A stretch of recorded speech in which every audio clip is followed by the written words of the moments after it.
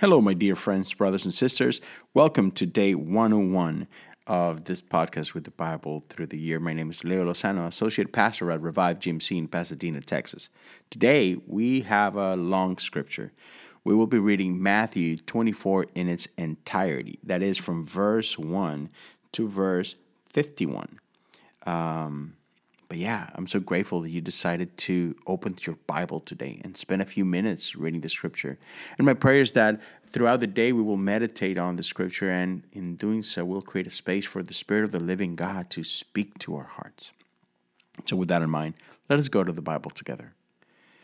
As Jesus was leaving the temple grounds, his disciples pointed out to him the various temple buildings. But he responded, Do you see all these buildings? I tell you the truth. They will be completely demolished. Not one stone will be left on top of another.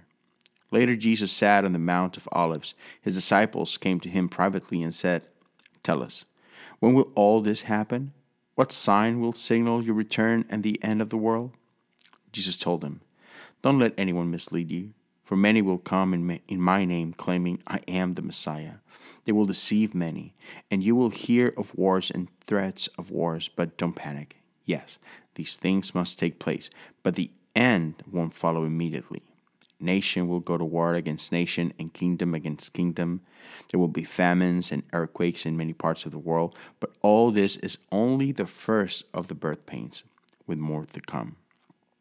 Then you will be arrested, persecuted, and killed. You will be hated all over the world because you are my followers. And many will turn away from me and betray and hate each other. And many false prophets will appear and will deceive many people. Sin will be rampant everywhere, and the love of many will grow cold. But the one who endures to the end will be saved and the good news about the kingdom will be preached throughout the whole world, so that all nations will hear it, and then the end will come. The day is coming when you will see what Daniel the prophet spoke about the sacrilegious object that causes the, the desecration standing in the holy place. Reader, pay attention. Then those in Judea must flee to the hills. A person out on the deck of a roof must not go down into the house to pack. A person out in the field must not return even to get a coat. How terrible it will be for a pregnant woman and for nursing mothers in those days. And pray that your flight will not be in winter or on the Sabbath, for there will be greater anguish than at any time since the world began and it will never be so great again. In fact, unless that time of calamity is shortened, not a single person will survive, but it will be shortened for the sake of God's chosen ones. Then, if anyone tells you, Look, here's the Messiah, or there he is, don't believe it. For false messiahs and false prophets will rise up and perform great signs and wonders, so as to deceive, if possible, even God's chosen ones. See? I have warned you about this ahead of time. So if someone tells you, look, the Messiah is out in the desert, don't bother to go and look. Or look, he's hiding here, don't believe it. For as the lightning flashes in the east and shines to the west, so it will be when the Son of Man comes. Just as the gathering of vultures shows there is a carcass nearby, so these signs indicate that the end is near. Immediately after the anguish of those days, the sun will be darkened the moon will give no light. The stars will fall from the sky, and the powers in the heavens will be shaken. And then at last, the sign that the Son of Man is coming will appear in the heavens, and there will be deep mourning among all the peoples of the earth. And they will see the Son of Man coming on the clouds of heaven with power and great glory. And he will send out his angels with the mighty blast of a trumpet, and they will gather his chosen ones from all over the world, from the farthest ends of the earth and heaven. Now learn a lesson from the fig tree. When its branches bud and its leaves begin to sprout, you know that the summer is near. In the same way, when you see all these things, you can know his return is very near right at the door. I tell you the truth, this generation will not pass from the scene until all these things take place. Heaven and earth will disappear, but my words will never disappear.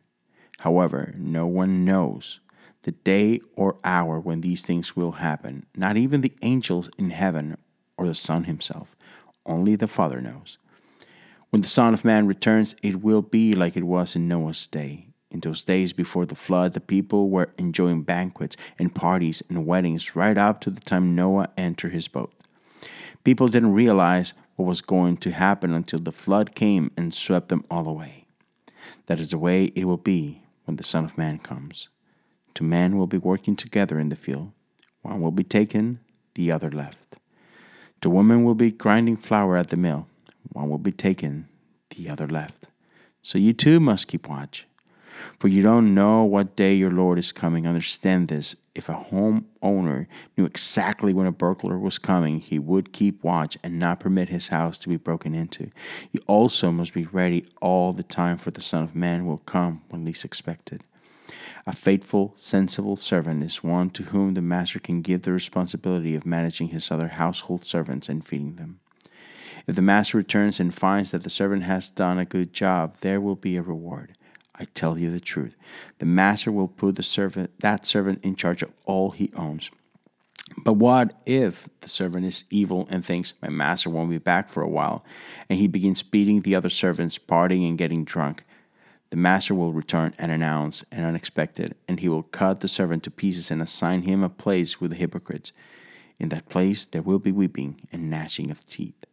This is the word of God for the people of God. Thanks be to God. I know there is so much here. We just read 51 verses, right?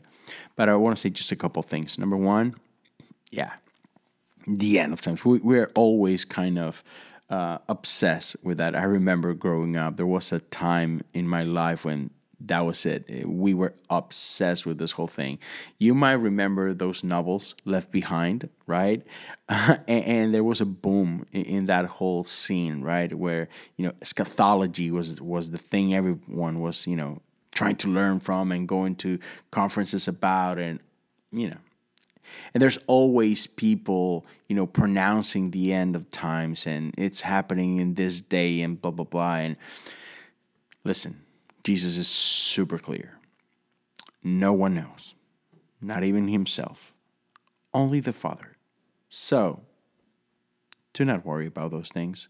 Sure, pay attention to the signs and whatever you want to do, but at the end of the day is we have to live the same way today than in a hundred years.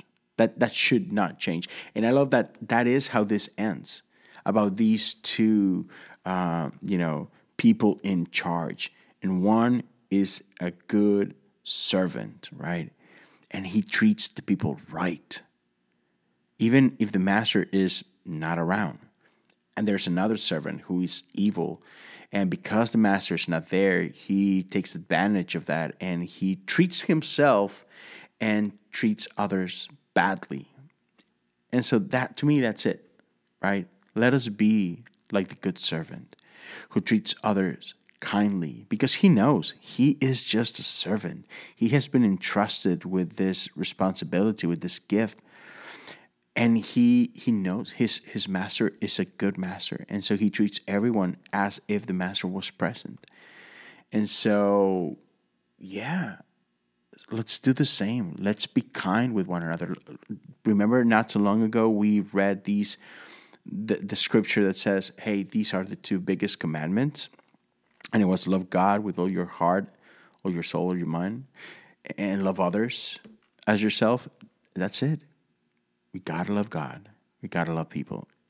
Today, tomorrow, and for the next millennia, if that's necessary, until He comes back. That doesn't change. We love God. We love the people. And He'll come when He'll come, and we will all celebrate when that is time. But in the meantime, yeah, let's honor Him by loving and caring for the ones He loves. Thank you for joining me today, and I cannot wait to be with you again tomorrow. God bless you.